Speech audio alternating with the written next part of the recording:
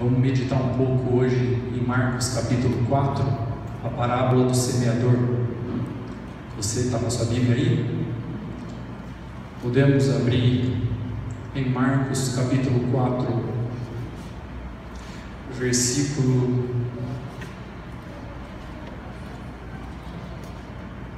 três.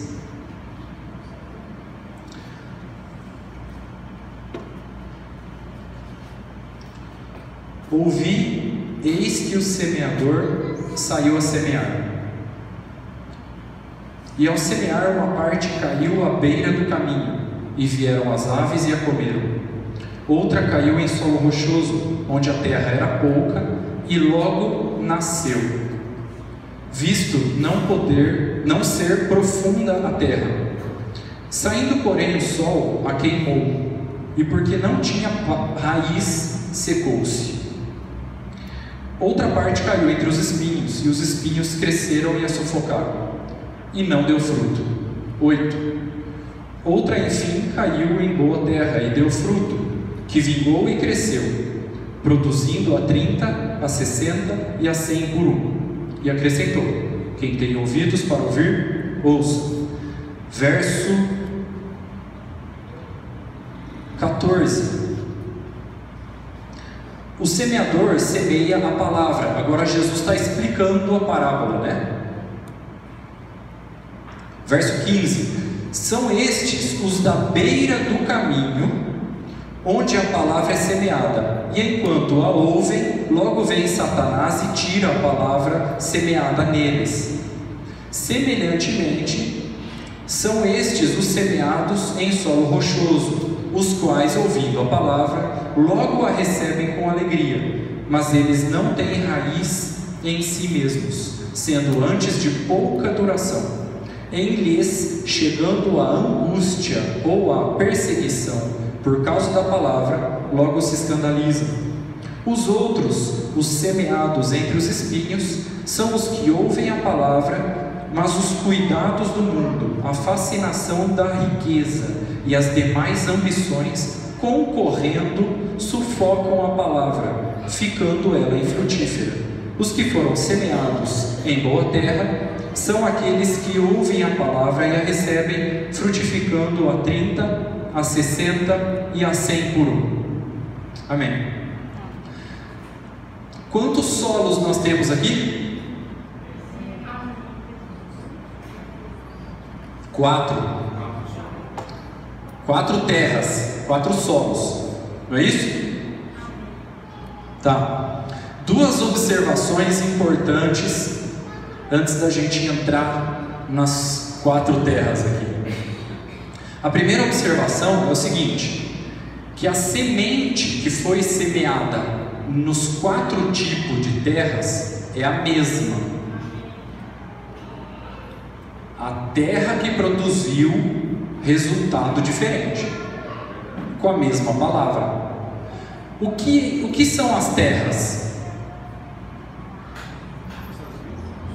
Os corações dos homens. A semente é a palavra de Deus. E as terras são os corações dos homens que recebem essa semente. Amém.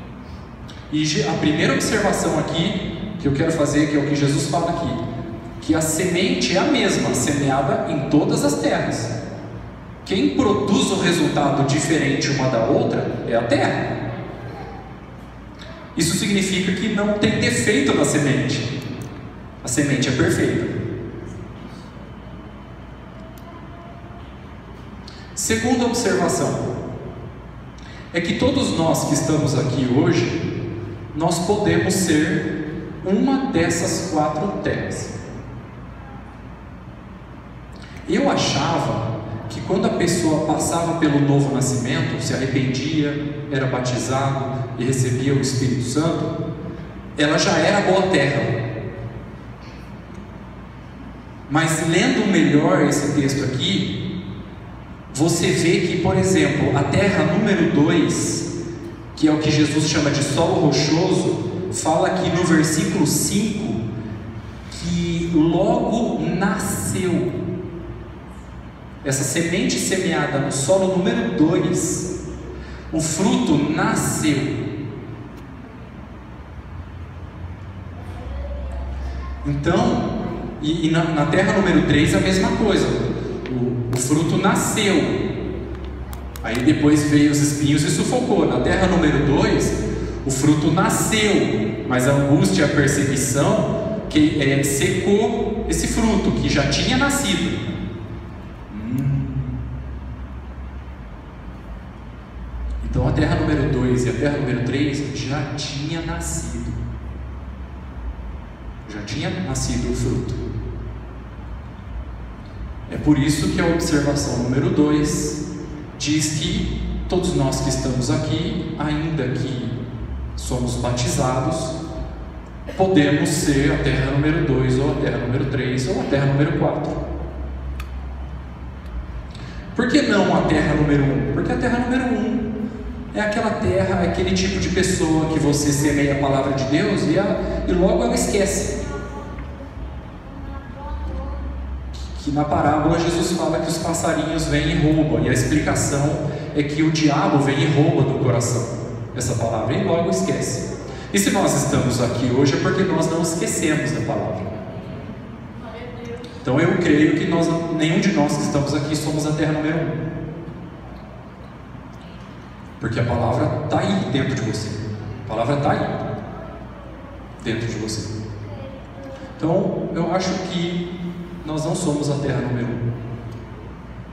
Isso nos resta 33% de chance de ser a terra boa. É pouco, né? Terra número 2. A terra número 2 é a terra que Jesus chama de solo rochoso. Qual é o problema da terra número 2? Está escrito aí, nós lemos. no versículo 17.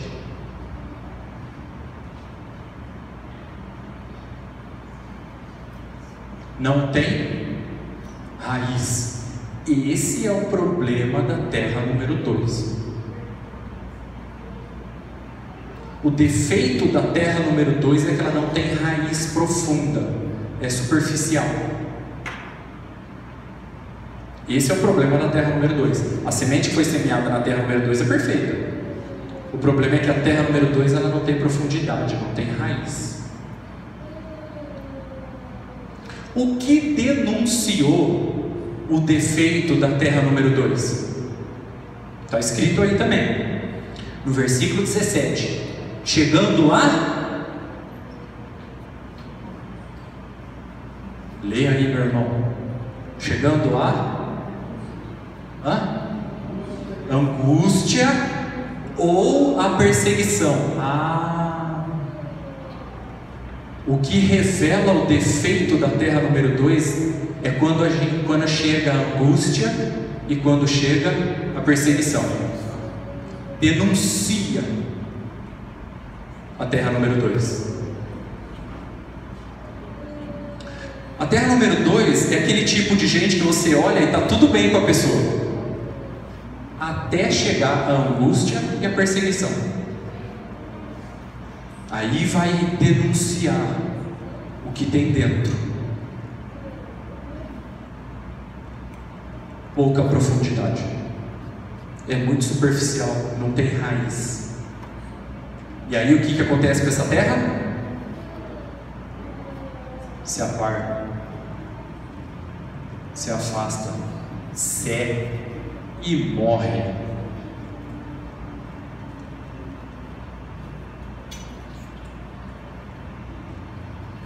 Então, se a gente não tiver profundidade, a gente corre o perigo de morrer? Sim. Mesmo depois de ter nascido de novo? Sim. Hum, ficou sério agora o negócio.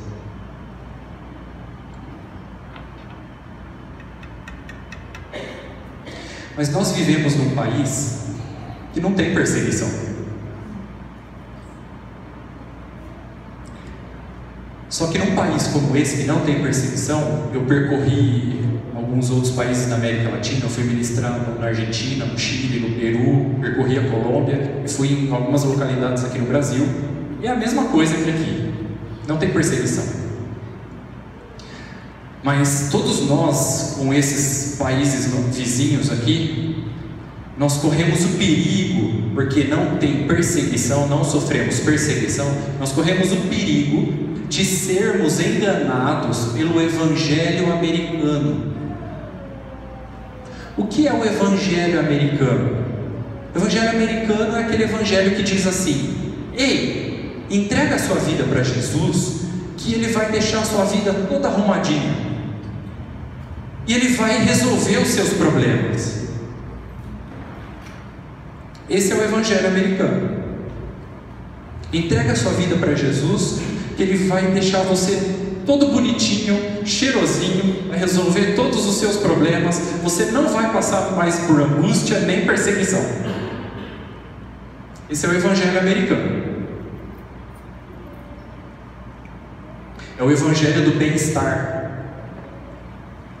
É o evangelho da vida boa. Conforto, sombra e água fresca. Esse é o evangelho americano.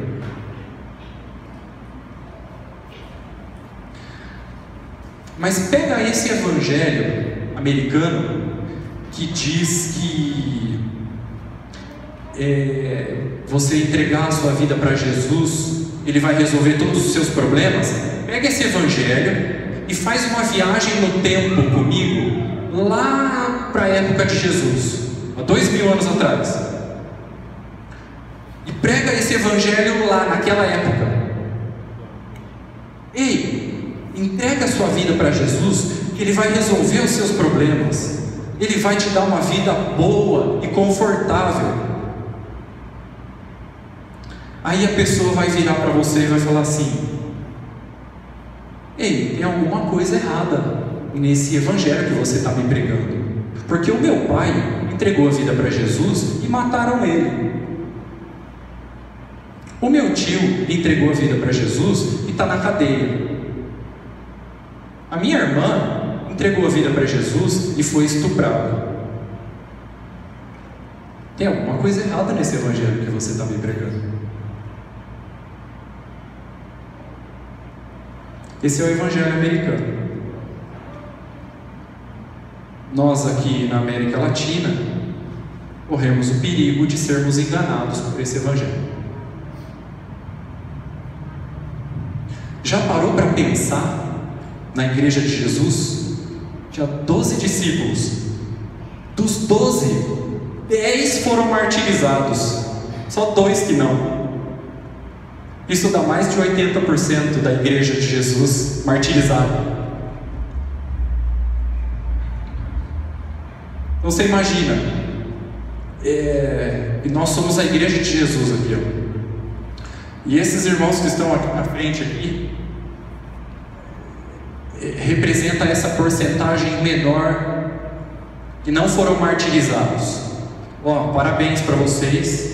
Vocês não vão ser martirizados, mas vocês vão viver uma vida difícil e com perseguição. O resto de todos nós aqui, ó, vamos ser martirizados depois de viver uma vida difícil e com perseguição. Essa era a igreja de Jesus. O Tiago, arrancaram a cabeça dele. O Pedro foi crucificado de ponta cabeça. Os outros todos martirizados, passados a fio da espada, outros cerrados pelo meio, Paulo foi açoitado não sei quantas vezes, apedrejado, sofreu náufrago.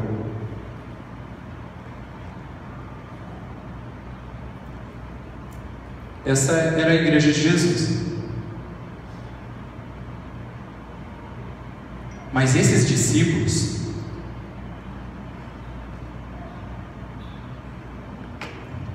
mas esses discípulos, eles seguiam a Jesus, custe o que custar. Apesar das perseguições e das angústias, eles seguiam a Jesus, custe o que custar. Aí eu fico pensando, o que produziu nesses homens esse nível de compromisso com Deus? O evangelho que eles receberam.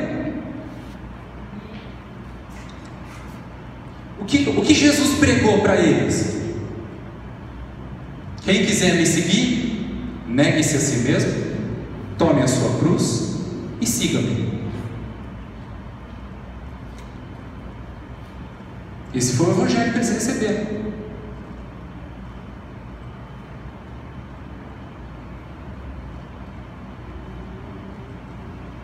E isso produziu o nível de compromisso com Deus que eles tinham.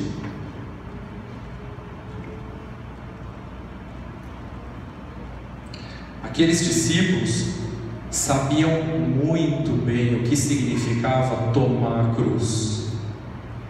Para eles, não era simplesmente usar uma correntinha com uma cruz no pescoço. Para eles não era isso, tomar cruz não era isso.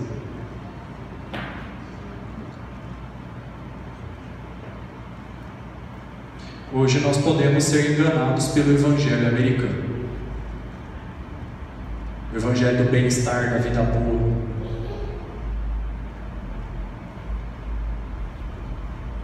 Nós vemos, né, muita gente chamando Jesus de Senhor. Mas a hora que vem a angústia e vem a perseguição, denuncia, né? O que, que tinha dentro de verdade. Se era mesmo ou não era. Pode ser a terra número 2. Pode ser a terra número 2. Sabe por que, que essa gente que enquadra na terra número 2, é, Jesus fala que, esse, eles chegaram a se escandalizar da palavra do reino de Jesus, se escandalizaram depois da perseguição. Sabe por que que eles se escandalizaram e saíram fora? Porque eles não queriam verdadeiramente pagar o preço. Por isso.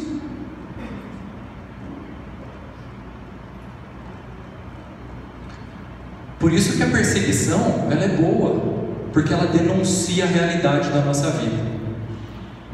A angústia, quando vem perseguição, quando vem, ela é boa porque denuncia quem verdadeiramente nós somos.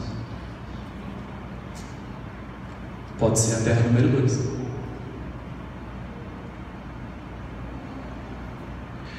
Hoje nós não temos esse tipo de perseguição, mas ela pode vir até nós é, configurada de uma maneira diferente.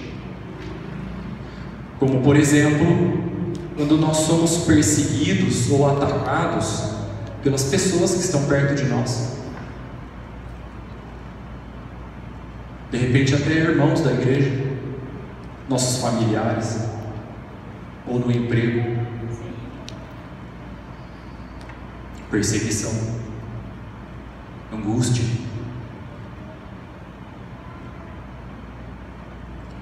Você lembra, né? Quem que perseguiu Jesus? O povo dele. Veio para os seus, mas os seus não receberam. Eu experimentei esse tipo de perseguição.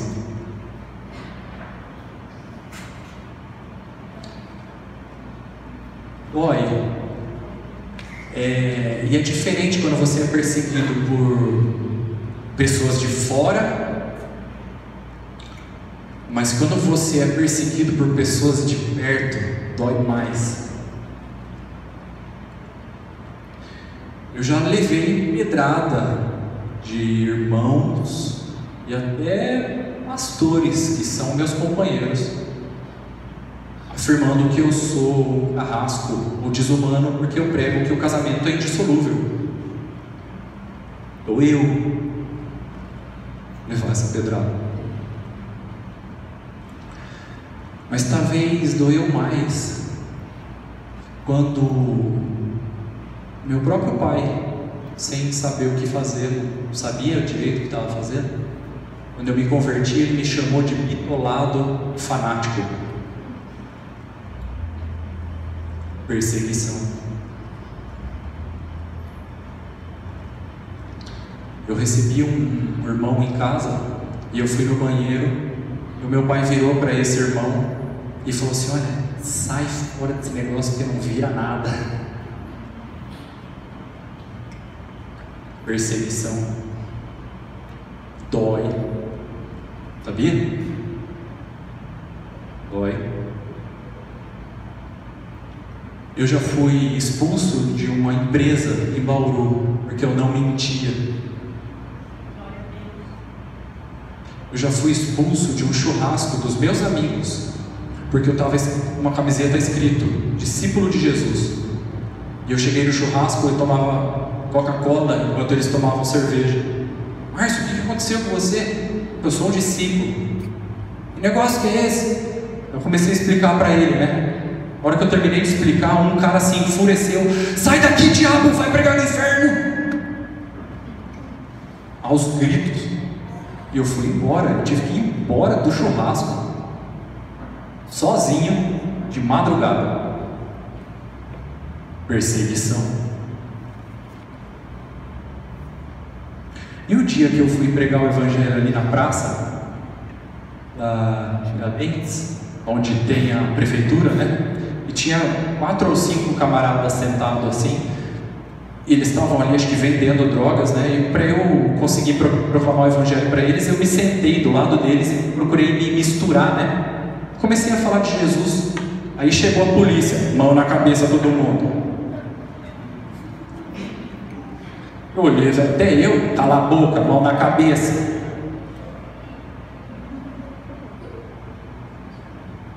Tava lá eu, meio-dia, no meio do fervo, na Praça Tiradentes, os quatro, cinco camaradas do meu lado, eu assim.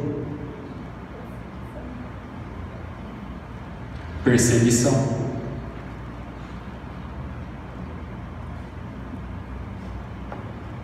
Eu me senti um dos apóstolos, né?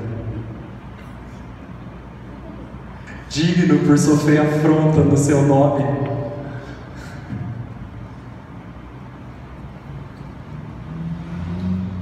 Se você ainda não experimentou essa perseguição, mas você tiver esse nível de compromisso com Deus que esses discípulos tinham, a perseguição vai chegar. Configurada de alguma maneira. Pode ser até dos próprios irmãos. Pode ser de companheiros de ministério, pode ser da família. Mas é fácil você acabar com essa perseguição.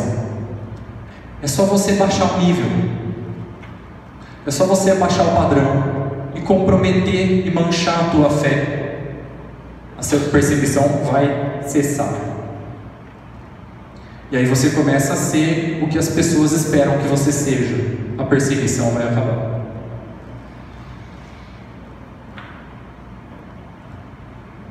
Mas aí você pode ser a terra número dois.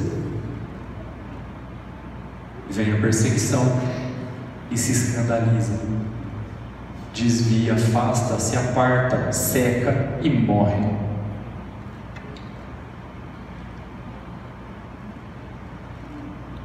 Sabe que essas perseguições que eu sofri foram extremamente importantes na minha vida para eu ter a profundidade que eu tenho hoje. Sabia? Se não fosse essa perseguição, eu não teria a profundidade que eu tenho hoje. Essas perseguições foram indispensáveis para a minha vida. Assim como Judas Iscariotes foi indispensável na vida de Jesus.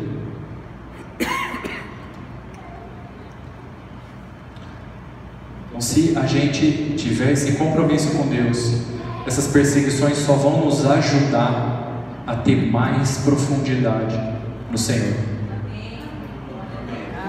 Amém?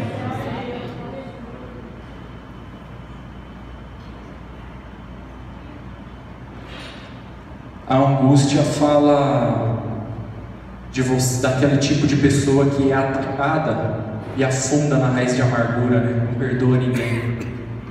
E fica com aquela raiz de amargura azedo dentro do coração. Vai secar, vai morrer, cuidado, pode ser até número dois. Agora, se você souber interpretar bem essa angústia, essa angústia só vai te ajudar a ter mais profundidade na palavra. Amém? Os irmãos estão comigo aqui? Não? Terra número 3. Bom, sobrar, sobrou 50% de chance de ser a terra boa agora, né? Terra número 3 é a terra que caiu entre os espinhos, que o fruto nasceu, né? Mas os espinhos fizeram o quê? Sufocar. O que são os espinhos? Está escrito no versículo 19. Tem três espinhos aí no versículo 19, você viu? Olha aí. Cuidados desse mundo, fascinação da riqueza e demais ambições. Fala que essas coisas são concorrentes da palavra que está dentro de você. Concorrente. Aí eu te pergunto: tem pecado aqui? Ele não fala de pecado, está falando de coisas lícitas. Está falando de coisas dessa vida, está falando de riqueza, coisas lícitas. Mas essas coisas lícitas são concorrentes da palavra de Deus dentro de nós. Porque às vezes o problema da igreja não é o pecado, né? Às vezes o problema da igreja é as coisas lícitas. Porque aí a gente é fácil usar como desculpa. Para não se comprometer com Deus, para não fazer a vontade de Deus, para não fazer a obra. Então a gente usa como desculpa as coisas lícitas, né?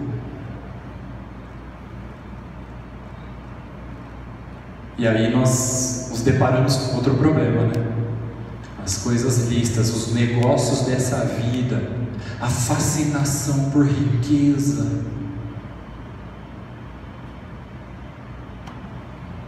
Aí você pega aquele discípulo fascinado por riqueza, ambicioso pelas coisas dessa vida, querendo ser grande coisa aqui nesse mundo demais ambições, sufoca a palavra, é concorrente.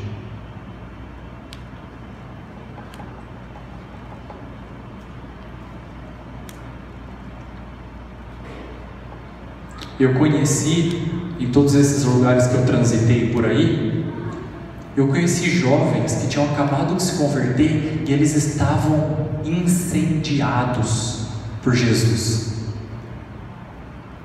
Mas aí falaram para ele que ele tinha que fazer faculdade. Aí ele entrou na faculdade, ficou cinco anos lá, de segunda a sexta. Cinco anos depois ele trouxe o canudo, mas aquele fogo já tinha se apagado. Mochou, secou, sufocou. Eu não estou pregando contra a faculdade. Eu fiz faculdade pós-graduação mas a chama está aqui dentro, acesa. Não se apaga. Faz 13 anos que eu me converti. E essa chama nem diminui, só aumenta. Não tem problema fazer faculdade pós-graduação. O problema é deixar essas coisas ser concorrente, sufocar a vida de Cristo que está dentro de você porque está ambicionando as coisas dessa vida? Nem, nem da, nós somos. Nós somos peregrinos. Paulo não fala lá, não atentando para as coisas que se veem. As coisas que se veem é temporais, são temporais, mas atentando para as coisas que não se veem, porque são eternas. Aí você pega aqueles discípulos fascinados por riqueza, ambicioso pelas coisas do mundo. É concorrente, vai sufocar. Eu conheci também nesses lugares que eu transitei por aí, solteiros, cheios de sonhos, que queriam ganhar o Brasil inteiro para Jesus, queriam fazer, queriam ser missionário, ir para as nações. Aí casou. A hora que casou,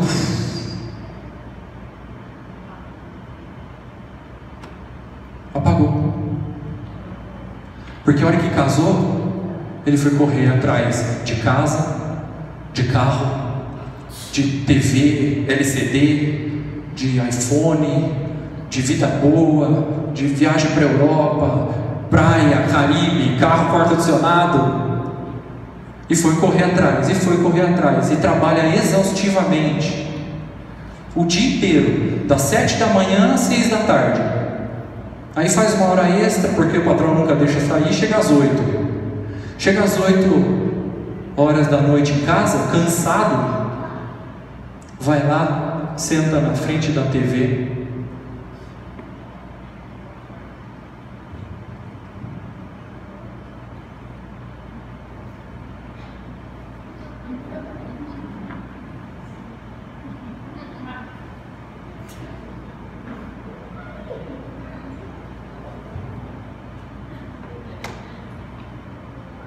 Hora de dormir, estou cansado, e vai dormir.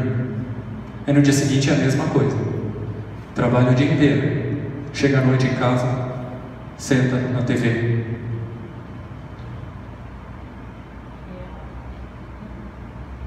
E assim passa dias, semanas, meses, anos. E aquele, aquele fogo que estava dentro dele queria ganhar todo mundo para Jesus. Foi sufocado pelas demais ambições, fascinado pelas riquezas, pelos negócios dessa vida. Misericórdia. Eu falo isso de carteirinha, porque eu botei uma TV no meu quarto. Aí eu chegava do trabalho cansado, eu deitava na TV, ligava o ventilador, colocava uma Coca-Cola, um Doritos e uns chocolate. Você estava na frente da TV,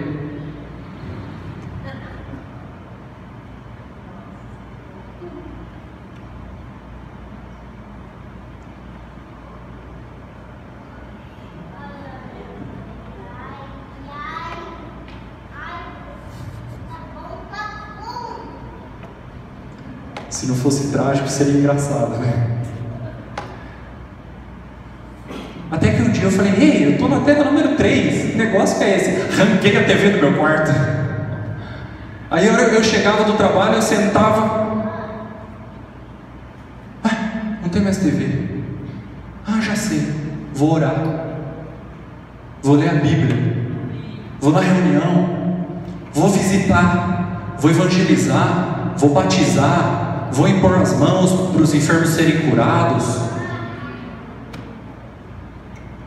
vou jejuar.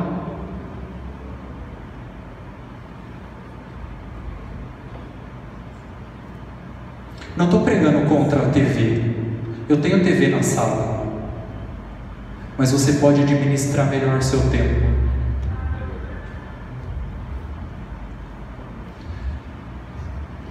Você pode tomar muito mais cuidado para não deixar esses negócios dessa vida aqui, dessa terra, as coisas lícitas, não sufocar a palavra que está dentro de você. Para você não cair na terra número 3 e ficar infrutífero.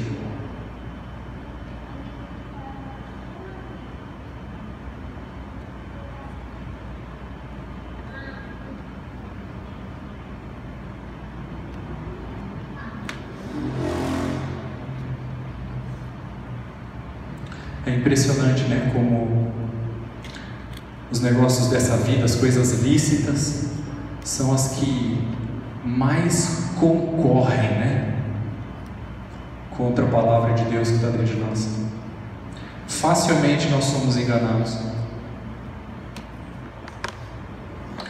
Aí você pega aquele discípulo que trabalha exaustivamente o dia inteiro, chega à noite em casa cansado, assiste TV a noite inteira e vai dormir. Aí chega no domingo, sete horas tenho que ir para a reunião.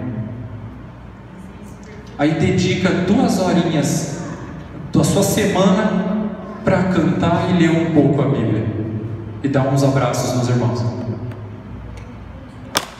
E a gente fica satisfeito com isso. Já perceberam?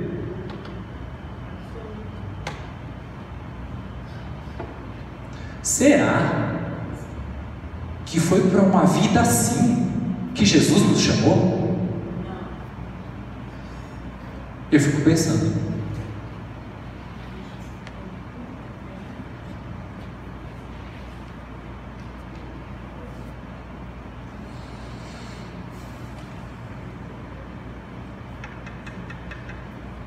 Nós precisamos despertar, né? A gente parece que está dormindo em nome do Senhor, deitado em berço esplêndido, com o controle na mão.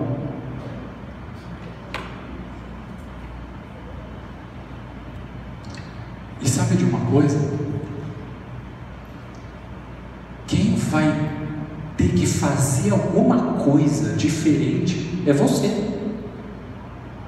Seu discipulador não vai, seu pastor não vai, não vai, não vai fazer, não pode fazer isso por você.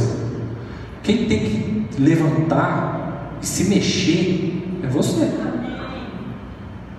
Porque a responsabilidade é pessoal, esse é o fator determinante. O Dani sempre nos ensina: existe o fator de influência, mas o fator determinante é a responsabilidade pessoal. É eu que tenho que fazer alguma coisa, eu que tenho que me mexer, eu que tenho que tomar decisão pelo meu amor por Jesus, pela minha fé.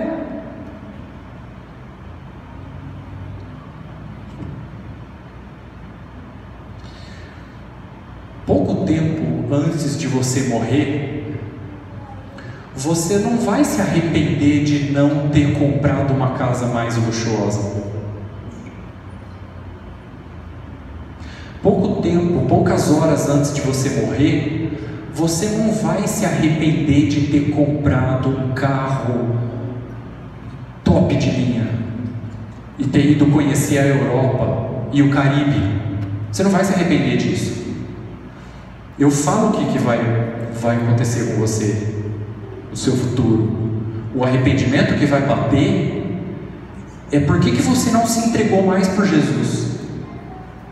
É porque que você não proclamou mais não batizou mais, não fez mais discípulo, não impôs mais as mãos, não orou mais, não se consagrou mais, não jejuou mais, não leu mais, não se comprometeu mais, não se entregou mais.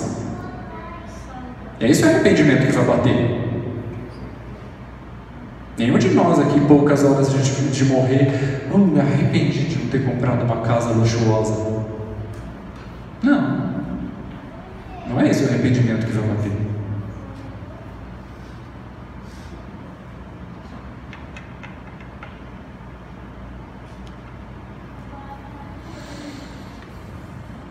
Então, nós precisamos fazer alguma coisa.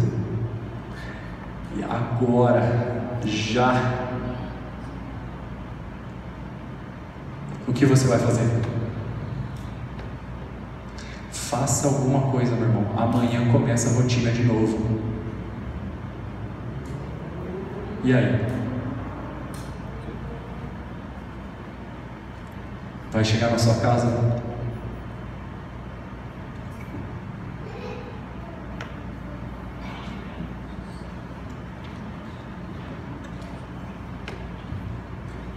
Faça alguma coisa, meu irmão. Amanhã começa a rotina de novo.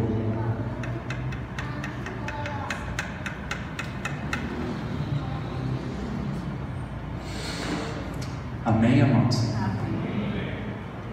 Vamos orar um pouquinho? Você quer orar e falar com Deus agora? Te deu uma vontade assim de falar com Deus? Dizer para Ele: Senhor, olha para mim agora.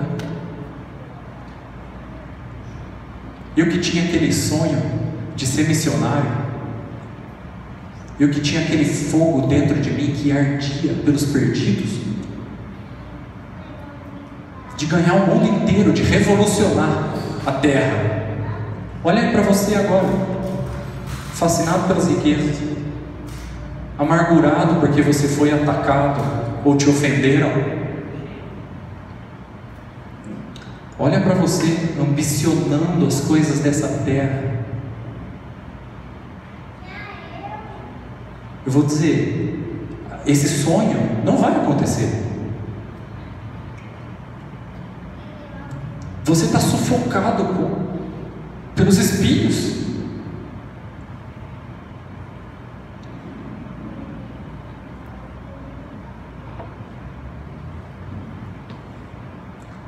Irmão, pelo bem do Espírito que habita dentro de você, faça alguma coisa. Eu sou a favor de defender a palavra que habita dentro de você. Você carrega uma luz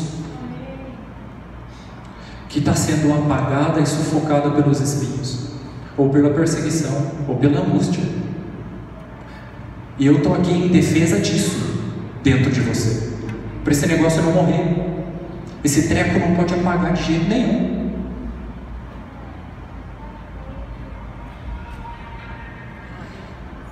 Amém, amados? Vamos tirar uns 10 minutos agora para a gente orar a sós com Deus? Vamos?